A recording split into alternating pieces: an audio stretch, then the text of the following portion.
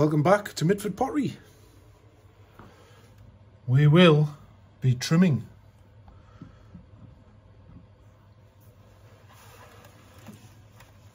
So we got, we threw these agate-ware mugs the other day. They're all dry and ready to trim and add handles to. So I'm going to speed this up so I'll see you at the end of the trimming and it's pretty basic. I've thrown them where they're relatively thin uh, base so they don't, so there's only about sort of, what's that, about five mil thickness or so. So they don't need the bases trimming too much. It's literally smooth them and round them. And to speed it up, I'm going to use the Giffin grip a little bit. I know Simon Leach be cursing Giffin grips. Don't use them. So on these, let's say, I'm going to start, I'll speed it up and I'll see you when we get the handles. So I'll speak in a minute.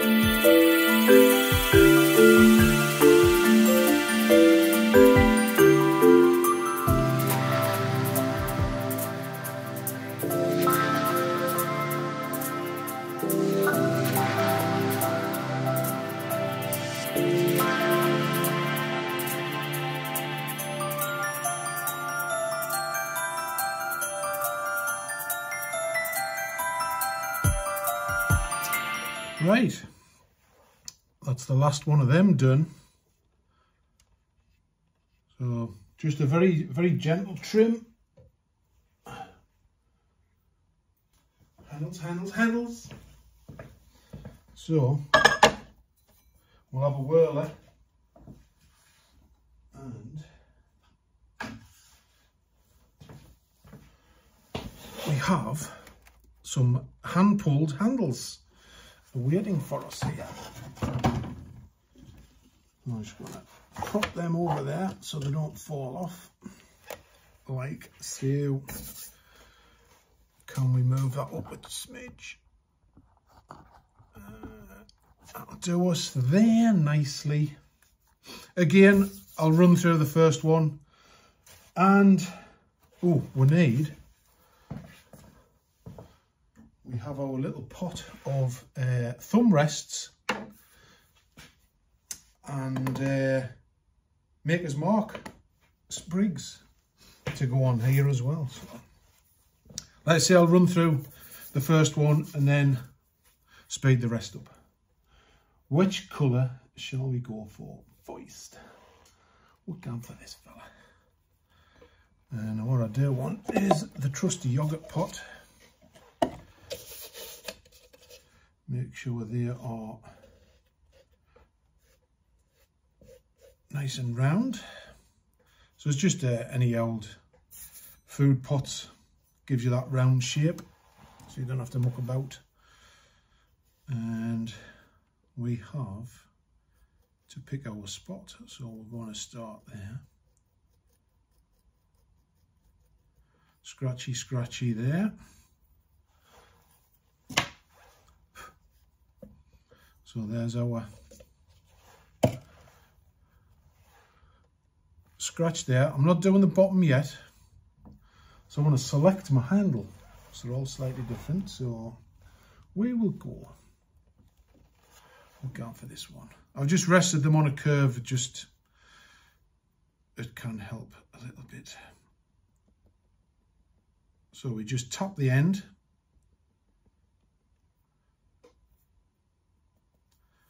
Just spreads the clay out a little bit.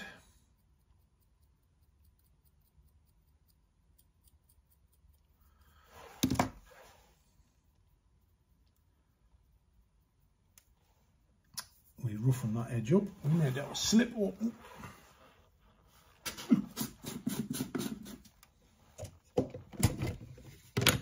slip. Got our brush.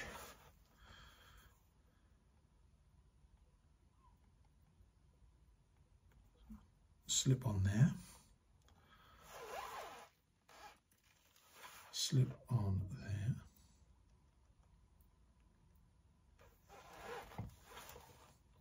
now if you do it on a whirler, gives you that height for the handle, so what we want to do is hold the cup body, apply pressure, wiggle it till it grips,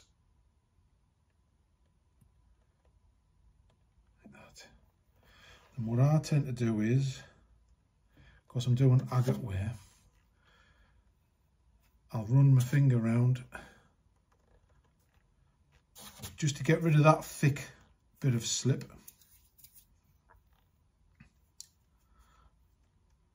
And then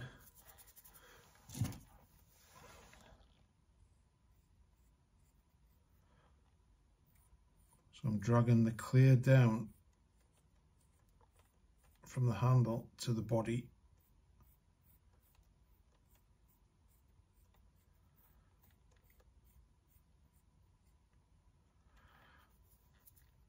Now what I'm trying to do, because it's agate ware, I'm trying not to blend the base white clear into the colours too much, which is a bit tricky.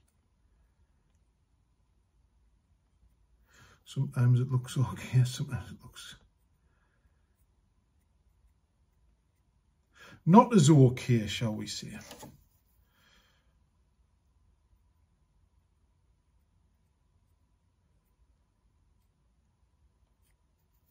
So I'm literally, it's just a pin tool because it's a fine curve that you that I'm working on. So that's pretty much attached. So we can leave that now. Now we can work on attaching the next bit. So I'm going to gently curve it to a shape I like. I like that shape there. And again, with a pin tool, you can use it as a knife. So I take that off at a bit of an angle. So when I blend that in, check that, you know, maybe go a little bit more. Take a little bit more off. So that's just going to go at the base there. And what I tend to do is I line it up so it stays in place. Have a look. That's all right, that's in line. Look down from the top, that's all right. So what I tend to do, just gently keep your thumb next to it, move it over, where it was, give it a quick scratch to roughen that up. Little dab of slip on there. Reposition the handle. Give it a bit of pressure. Make sure it's in line in all angles. It's all right. Now put my fingers behind it inside and apply pressure to that. As you can see, the slip oozes out. And then it's a case of uh, wipe and blend. Where's my tiny little sponge gone? So we'll get our little damp sponge again. So I'm just doing the top of the handle now the underneath bit,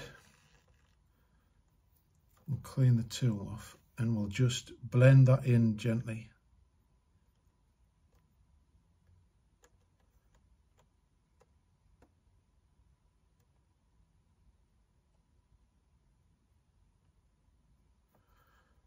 just so it looks nice.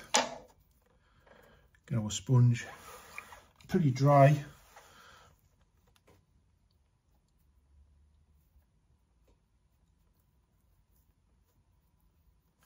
That.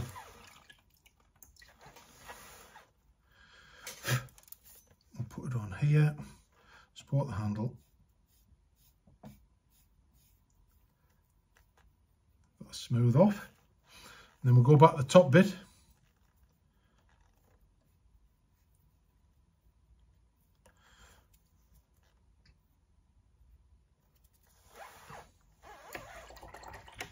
And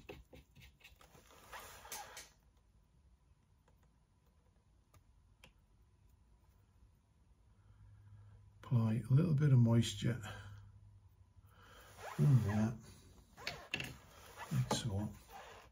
Clean sponge.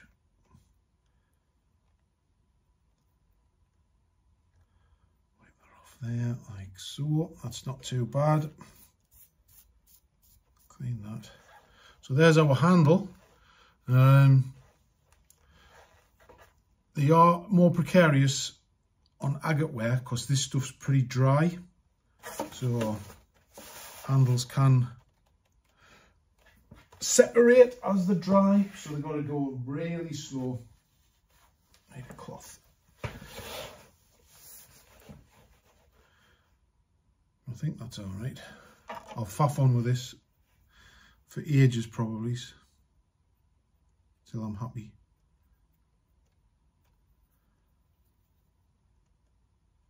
But we'll try not to because it's a video.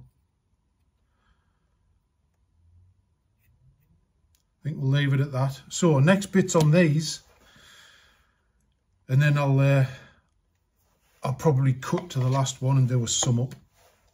So where's our pot? Make sure we're still round. So we'll put our yogurt pot in. So we're still round and we'll leave that in now, I've got to find the matching colour. So we got our, our little sprigs made up. I think it's that one there. I think it's that one. I think it's them ones. What we got next? Put them next to their pots because they shouldn't dry up too quick. That one there. Right, they're all lined up. So, we got two. We got a disc. Got a disc, which is going to be our maker's mark. Now, these do have a tendency to stick to the stamp, so just a light bit of pressure, like so. So we got that gently corks them out. So there we got our, maker's mark. And this one, we got our thumb rest. So thumb rest goes on.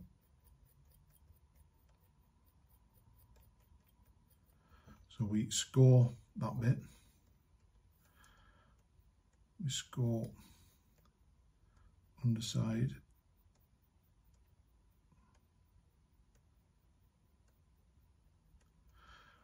like so.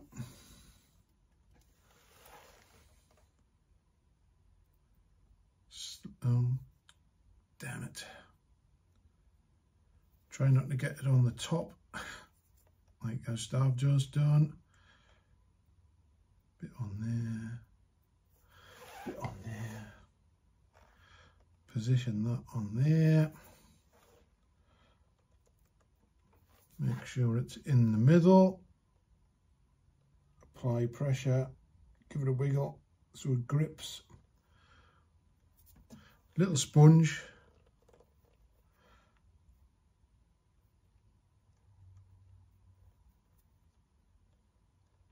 Just run around the joint.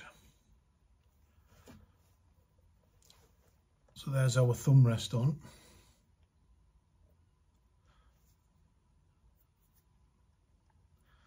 Now, we want our little button maker's mark. So again, it's going to score the back. Make sure we got the right way up. Then we got to pick where we're going to put it.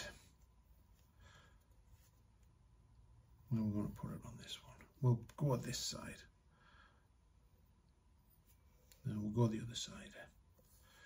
Go this side. So I'm just going to make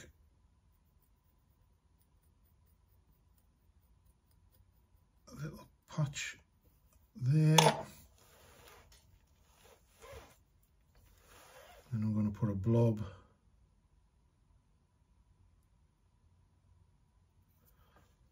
of slip on there.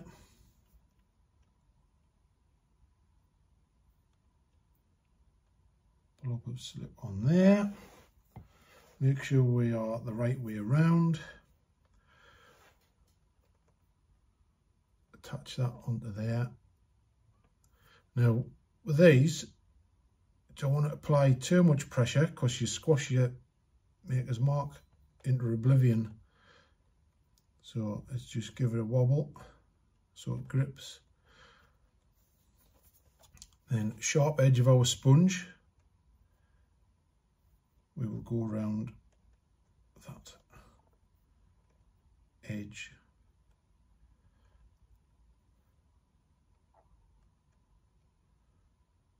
like so. So we get that on. This one's a doubler. It's got a maker's mark underneath as well. And there you go. So I'll uh, I'll do the rest and we'll have a sum up at the end. So I'll speak to you in a minute. So we're back, just finishing off the last agate ware mug. So we just got the handle on. We are just finessing the handle. Just there.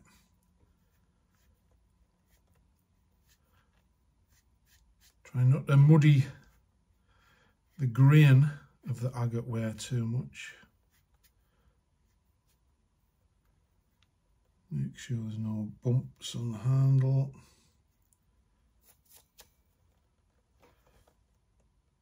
It's all right.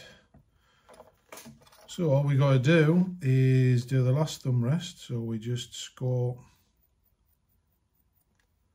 that.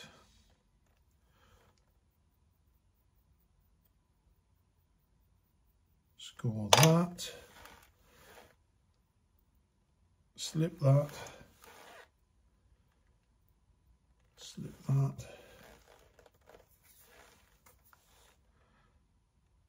Position it on the handle.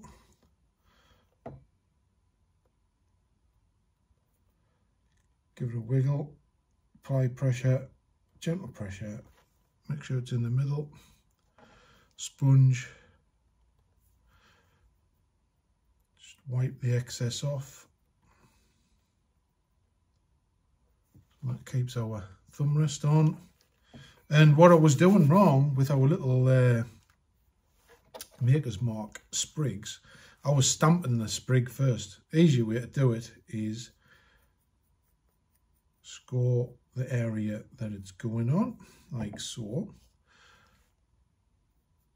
Score the back of your sprig. Slip it, bit slip on there, bit slip where it's going. This way you don't smudge your maker's mark, so make sure you've got the right way. We'll go that way press your disc of clay on like so. Again sharp edge of a sponge.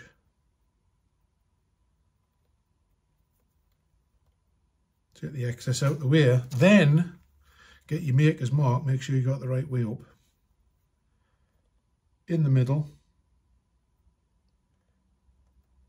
squish it on. There. You have and the pressure of you squashing it on helps it stick on.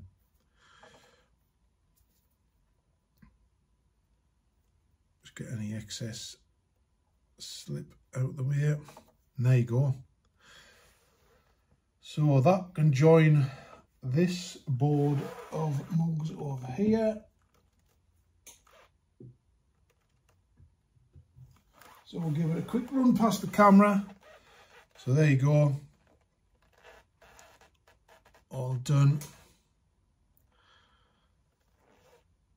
And these have to have to dry very, very slowly.